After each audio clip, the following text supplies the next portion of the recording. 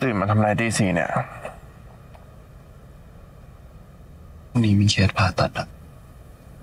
ยังจำไม่ได้เลย ให้เราช่วยปะ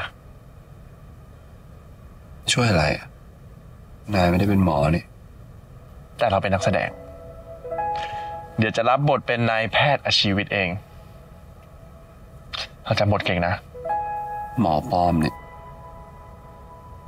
ไม่มีชื่ออยู่ในเว็บแพทยสภา หมอปลอม แต่รักจริงนะ เป็นมุกแบบนี้เครียดกว่าเดิมอีก ไหนอะต้องพูดอะไรบ้างเราจำบทเก่งนะ เคสผู้ป่วยเด็กชายไทยอายุ 12 ปี สูง 150เซนติเมตร น้ำหนัก 85 กิโลกรัม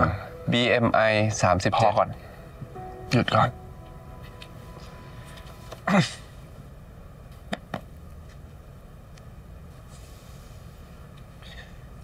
ก่อนอื่นนะ จีต้องผ่อนคลาย หายใจเข้าลึกๆ หายใจออก แล้วก็อธิบายแบบสบายๆ เหมือนตอนที่นอนอยู่เนี่ยไหนลองพูดอีกทีสิ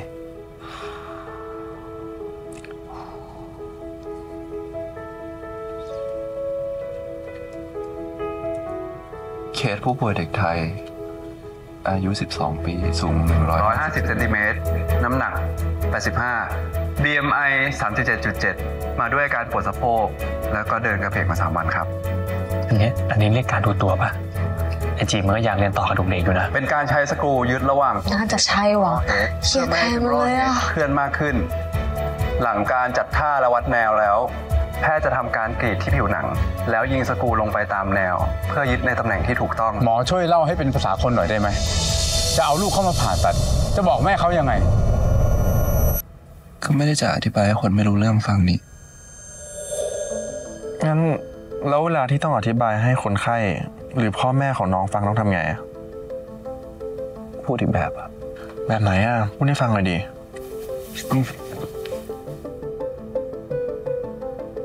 นี่กระดูกขาน้อง นี่หัวกระดูก ปกติมันจะต้องครอบกันแบบนี้ มาเป็นเป้าสะโพกให้หน่อยสิ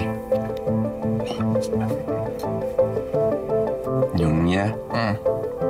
พอหัวกระดูกมันเคลื่อน กระดูกน้อง ก็จะไม่อยู่ในเบ้าสะโพก เพราะฉะนั้นเราก็ต้องจัดมันให้เข้าที่ แล้วก็เอาสกรูยึดที่หัวกระดูก โอ้อย่างนี้ต้อง ผ่าตัดใหญ่เลยปะก็ไม่นี่ ก็แค่จัดท่าวัดแนว ยิงสกรู แล้วก็ กรีดอีกนิดนึงอืมอืม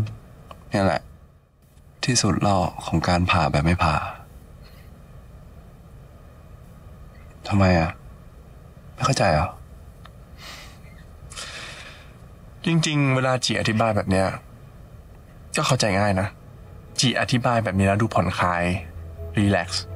แล้วเข้าถึงง่าย ไม่ใช่แค่เปนะ แต่โคตรมีเสน่ห์เลยแฟนใครเนี่ย เก่งที่สุดเลย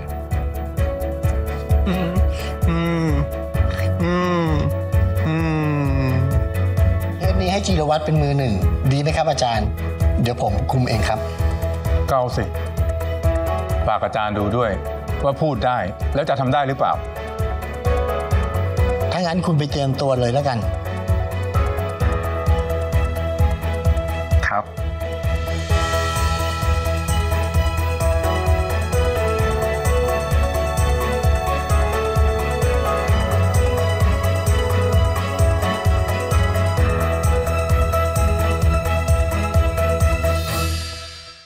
รับชมซีรีส์คุณได้ไปต่อย้อนหลังได้ทาง 3 plus ทางเว็บไซต์และแอปพลิเคชัน มาร่วมเติบโตและเดินทางไปกับความสัมพันธ์ของพวกเราไปด้วยกันนะครับ